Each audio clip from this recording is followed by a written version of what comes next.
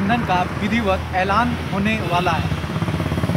सूत्रों के हवाले से खबर यह भी मिल रही है कि सपा मुखिया अखिलेश यादव बसपा सुप्रीमो मायावती को उनके घर जा कर के ससम्मान प्रेस कॉन्फ्रेंस स्थल की ओर रवाना होंगे।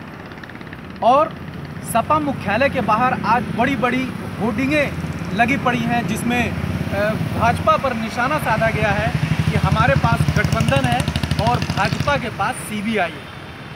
वहीं एक दूसरा पोस्टर है जिसमें ये दिखाया गया है कि हमारा काम बोलता है, भाजपा का झूठ बोलता है।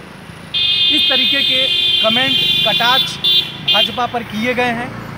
अब आज किस पार्टी को कितनी सीटें गठबंधन में मिलेंगी, ये इस बात का ऐलान किया जाएगा।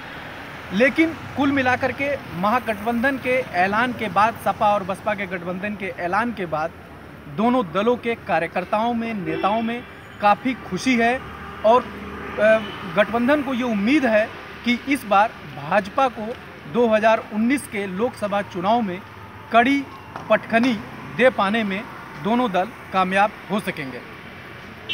डायनामाइट न्यूज़ के साथ, जयप्रकाश पाठक, लखनऊ।